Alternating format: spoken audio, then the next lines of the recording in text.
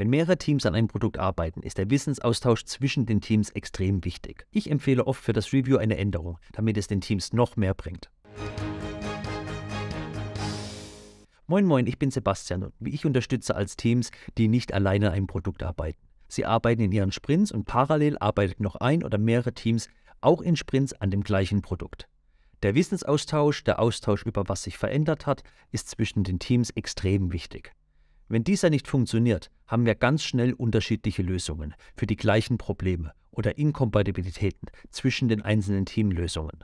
Ein Weg, das Problem anzugehen, ist über Professionsmeeting, also dass sich zum Beispiel alle Entwickler in einem dedizierten Meeting austauschen oder alle Designer. Das kann auch gut funktionieren. Was ich aber sehr mag, ist mit dem Review zu verknüpfen. Warum? Weil wir hier noch stärker den Sprint-Kontext haben und nicht nur als Kontext, alle Entwickler treffen sich und sprechen über Dinge. Wie ich generell Reviews für mehrere Teams mache, habe ich in einem meiner anderen Videos von mir erklärt. Schau es dir gerne an, wenn du hier noch Fragen oder Gedanken hast. Kommen wir aber zum Wissensaustausch. Der Scrum Guide sagt übrigens sogar, das Sprint Review ist ein Arbeitstermin und das Scrum-Team sollte vermeiden, es auf eine Präsentation zu beschränken. Aus diesem Grund haben wir das Review bei uns zweigeteilt.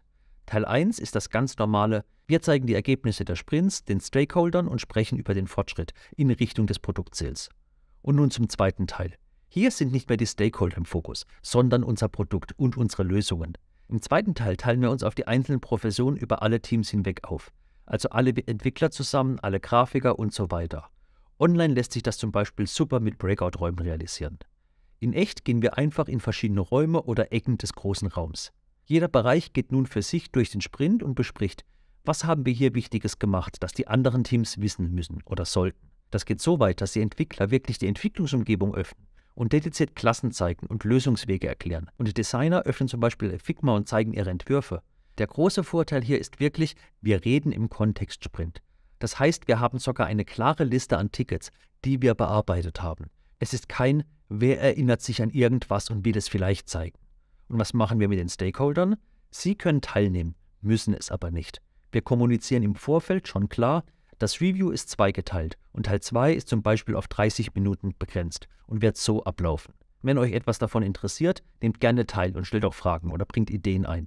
Und wenn es euch nicht interessiert, könnt ihr das Meeting dann auch schon verlassen. Und weißt du was?